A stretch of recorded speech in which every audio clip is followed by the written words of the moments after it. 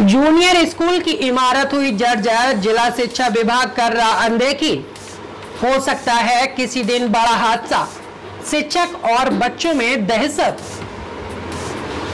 जनपद इटावा के जसवंत नगर ब्लॉक क्षेत्र के गाँव फकीरी मड़ैया के प्राइमरी स्कूल, जिसमें कक्षा छह से आठ तक के सतर बच्चे बैठकर शिक्षा ग्रहण करते हैं। जिस छत के नीचे बच्चे पढ़ते हैं उस स्कूल की पूरी बिल्डिंग जर्जर हो चुकी है। पिलर से लेकर छत, दीवार तक चारों तरफ़ से स्कूल की बिल्डिंग चटक चुकी है। अगर जिला बेसिक शिक्षा विभाग की यही अनदेखी रही तो किसी दिन बड़ा हादसा हो सकता है। बिल्डिंग जर्जर होने के कारण अध्यापकों और बच्चों में दहशत का माहौल है, जिसका सीधा असर उनकी पढ़ाई पर पड़ रहा है। जूनियर स्कूल के हेडमास्टर लेखराज राजपूत ने बताया कि बेसिक शिक्षा अधिकारी बीएसए इटावा को मैं कई बार लिखित शिकायत दे चुका हूँ, लेकिन अभी तक इस ओर कतई ध्यान नहीं दिया जा रहा है। और ये बिल्डिंग आज से नहीं बल्कि साल 2018 से अभी तक इसी हालत में पड़ी हुई है। फिर भी अभी तक कोई सुनवाई नहीं हुई है।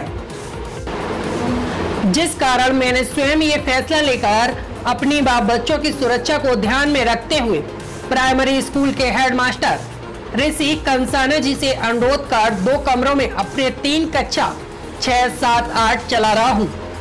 जिस कारण एक ही कमरे में दो कक्षाओं के बच्चे ठीक ढंग से नहीं पढ़ पा रहे हैं। लेकिन मैं क्या करूँ? मेरी भी मजबूरी है। जिला प्रशासन की तरफ़ से हमारी सिफारिश पर कोई अमल नहीं किया जा रहा है। एक ही कमरे में दो कक्षा कैसे पढ़ेंगे बच्चे? बेसिक शिक्षा विभाग कर रहा बच्चों के जीवन से खिलवाड़। जूनियर हाई स्कूल फकीरी मड़ैया के बच्चे, प्राथमिक विद्यालय, यानी एक से पाँच तक के स्कूल बिल्डिंग एक कमरे में कक्षा छह बस सात के बच्चे एक साथ पढ़ने को मजबूर हैं। आखिर करें भी तो क्या? जिला शिक्षा विभाग का रवैया जो ढीला है। एक शिक्षक के भरोसे छह से आठ तक के सतहत्तर बच्चों का भविष्य। भगवान भरोसे चल रही है ज़िले की सरकारी स्कूल की शिक्षा। जूनियर हाई स्कूल फकीर मड़ैया में कक्षा छह से आठ तक के सतहत्तर बच्चों को सिर्फ़ एक ही अध्यापक संभाल रहा है, जबकि इस स्कूल में तीन अध्यापक, एक अध्यापका का होना ज़रूरी है। लेकिन फ़िलहाल छह महीने से ज़्यादा का समय हो गया है, लेकिन शिक्षकों की तैनाती इस स्कूल में नहीं की गई है। और एक ही शिक्षक के भरोसे चल रही है। तीनों कक्षाएँ, जबकि तीनों कक्षाओं में कुल सत्तर बच्चे हैं। अब ऐसे में जिला शिक्षा विभाग नौनिहालों के भविष्य के साथ कितना घटिया खेल खेल रहा है? भगवान ही मालिक है। ग्राम प्रधान द्वारा नहीं लगवाई जा रही। इस स्कूल में टाइल्स व साफ़ सफ़ाई जैसी व्यवस्था पर नहीं दिया जा रहा ध्यान। ग्राम पंचायत बाउत की ग्राम प्रधान सोनी यादव पत्नी आशीष यादव के द्वारा फकीरी मड़ैया गाँव से लेकर स्कूल तक कतई कोई कार्य नहीं कराया जा रहा है। सरकार के आदेश पर स्कूल में लगने वाली टाइल्स भी नहीं लगाई जा रही हैं। अध्यापकों ने बताया कि स्कूल कैंपस में दो हेड पंपों की आवश्यकता है। लेकिन मेरे कहने के बावजूद भी जूनियर हाई स्कूल के बच्चों को पानी पीने के लिए हेड पंप नहीं लगाया गया है। तमाम ऐसे आवश्यक कार्य हैं जो ग्राम पंचायत के अंतर्गत आते हैं। वो स्कूल में नहीं कराए गए हैं। हम अध्यापकों के कहने के बाद भी यहाँ स्कूल के अंदर काम नहीं कराया जा रहा है।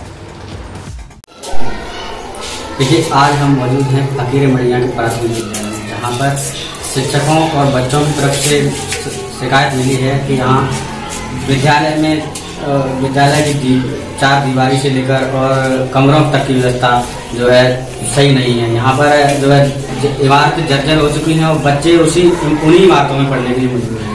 और सर यहाँ पे समस्या ये हो रही है कि बच्चे तो हमारे यहाँ जो है अस्सी हैं और यहाँ पे न तो बच्चों के लिए बैठने के लिए विद्यालय सही तरह से जो बिल्डिंग की जो है इमारत खराब है और सारे के सारे बीम चटके हुए हैं उसमें खिड़की भी नहीं है।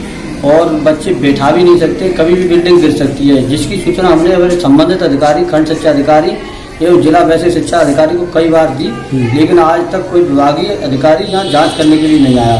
हम हमारे बच्चे परेशान हैं। हमने जो है प्राथमिक विद्यालय में दो कमरों की व्यवस्था की है लेकिन फिर भी पर्याप्त व्यवस्था नहीं है और यहाँ पर खाना बनाने के लिए कोई रसोई भी नहीं है और जो है बच्चों को पानी पीने के लिए न तो कोई रनिंग वाटर की व्यवस्था है ना ही कोई हैंडपम्प है। जिसकी सूचना हम ग्राम प्रधान श्रीमती सोनी यादव को कई बार दे चुके हैं, उन्होंने भी कभी उचित नहीं समझा कि हमारे यहाँ पानी की व्यवस्था की जाए।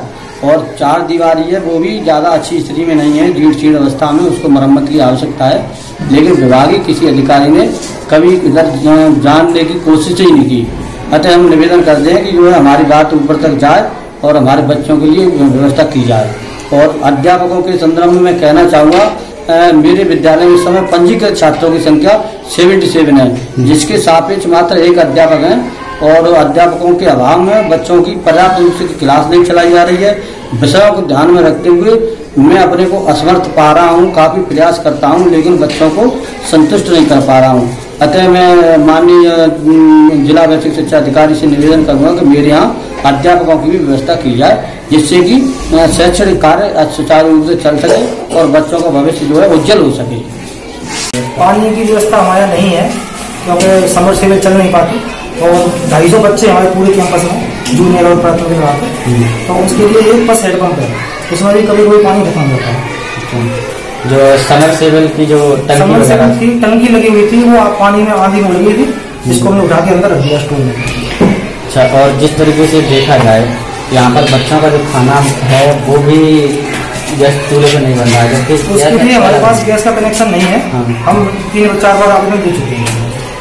और खाया जल्दी आ जाएगा आपको। जूनियर स्कूल की आपके पास में ही है। ही और कैंपस में है। एक ही कैंपस में दोनों स्कूल हैं। तो जूनियर स्कूल की ये समस्या क्यों बनी हुई है कि वहाँ पर जो बच्चे उस स्कूल में नहीं बैठ पा रहे हैं। वो बिल्डिंग बिल्कुल खराब है। वो बिल्कुल बिल्डिंग की स्थिति में है और उसका पिछले दो साल से इनकी जो क्लासें हैं हम अपने स्कूल में ही चलवाते हैं। जूनियर की जो क्लासें हैं हम अपनी प्राइमरी में ही लगवाते हैं। हमने दो कमरे उन्हें उपलब्ध करा दिए हैं। और जैसा कि हमारे पास आदेश आया था ए बी से साहब ने हमने कहा था है हम दे दिए दो कमरे में। और ये कहा था कि जल्दी समस्या का समाधान हो जाएगा। पर अभी तक नहीं हो पाया समय काफ़ी दिक्कत आ रहा है दूसरी साथ चल रही है।